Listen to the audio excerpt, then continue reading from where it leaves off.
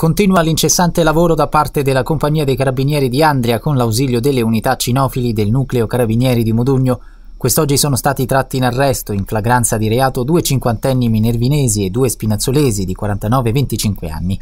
Al termine di approfondimenti investigativi, a seguito di numerosi riscontri sul territorio, decidevano di porre un servizio di controllo all'interno dell'azienda agricola di Minervino Murge situata in contrada Boschetto, al termine dell'operazione i carabinieri hanno sequestrato 63 kg di marijuana.